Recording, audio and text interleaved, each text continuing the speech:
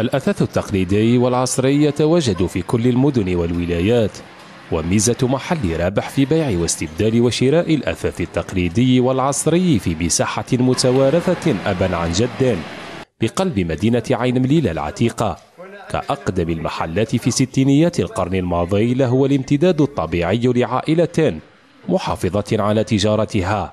هذا أول مابل في عين مليلة من سنة 64 وعنده إقبال شعبي كبير وعنده للآن مازال يخدم القديم والجديد. بو عن جد. أنا عمهم حكمته من 78 حتى 93 ومن بعد كنت نخدم على ليزونسيا مبلية تاع عين مليلة.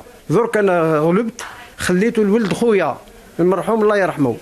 اسمه رابح. المحل تاع زوالية الزواليه يقصد يلقى عنده يدي ما عندوش يدي الناس تعبد الزوج ما عندهمش قدو قد رواحهم يجيو يديو شنابر نظاف نبيعوا شنابر نظاف نبيعوا نبيعوا خزائن تاع الصالو تاع الحمد لله يعني يقصدون الناس ما عندهمش قدهم قد رواحهم.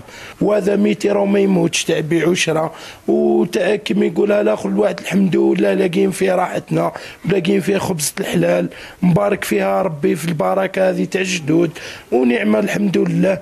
الجد عبد القادر والأب السعيد فارق الحياة ليستمر اسمه ما بعد الممات.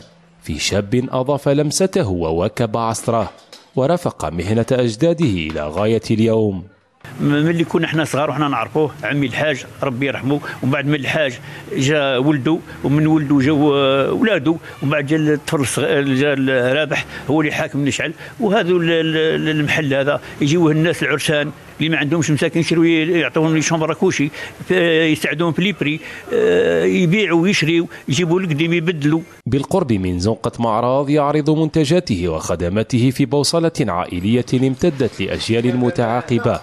في مدينة عين مليلة المعروفة بتاريخها التجاري القديم.